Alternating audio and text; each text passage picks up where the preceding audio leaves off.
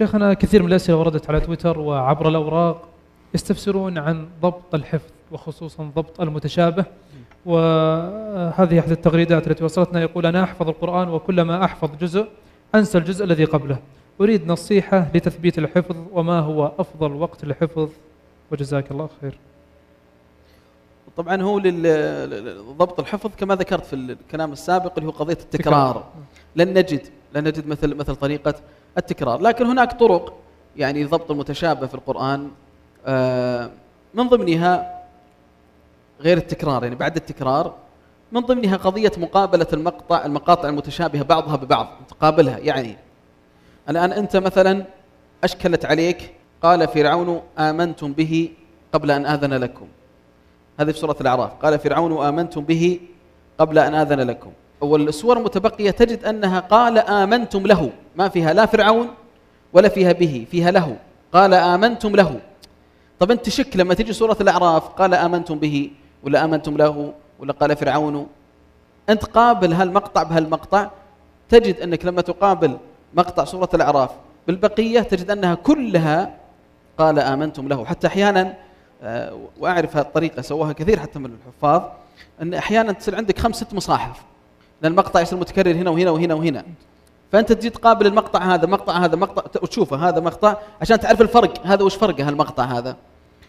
فتشوف في الأخير لا قال آمنت قال فرعون وآمنتم به ما في الا واحدة اللي في سورة في سورة الأعراف. وبقية القرآن كلها قال آمنتم له بدون فرعون وبدون له. أيضا كذلك وسخر الشمس والقمر إلى أجل مسمى. كل القرآن سخر الشمس والقمر لأجل إلا وحده. سورة لقمان وسخر الشمس والقمر إلى أجل مسمى. مقابلة هذه تعين. أمر الثالث من ما يعين أيضا كذلك مجالسة الحفاظ. أنت لما تجلس مع الحفاظ وسواء كانوا مشايخ أو أو قرناء لك يعني في سنك وتتكلمون في في الحفظ وفي في المتشابه تجد يعني أذكر مرة من المرات كنا يعني آه، جلسنا في في مجلس وكان فيه كثير من أهل من أهل القرآن. فكان من ضمن الموجودين الشيخ عادل الكلباني آه، حفظه الله. فجاء موضوع آه، سورة الأعراف وسورة الهود. وفعلا بينهم تشابه كبير بين سورة الأعراف وبين سورة هود تشابه كبير جدا يعني لأن قصص متكررة حتى لدرجة أنك تجد أن القصة يعني مثلا قصة شعيب تجد حتى في نفس المكان في المصحف نفس مكانها وإلى مدين اخاهم شعيبا وهذه إلى مدينة خام شعيب في نفس المكان.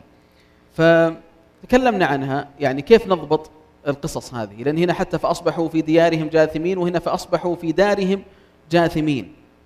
متى؟ وش الصورة اللي فيها الصيحة؟ وش الصورة اللي فيها الرجفة؟ قال لنا الشيخ عادل فائدة. قال سورة الأعراف تقوم على الاختصار. أي آية تشكل عليك شوف وش المختصر منها وخذه. شلون؟ يعني في ديارهم ولا دارهم؟ وش الأخصر؟ ديارهم ولا دارهم؟ دارهم. دارهم. فأنا مباشرة إذا صرت سورة الأعراف وشكيت هي ديارهم ولا دارهم مباشرة آخذ الأخصر منها تصير دارهم تصير دارهم. فهذه مثل هالقاعدة هذه من وين جت؟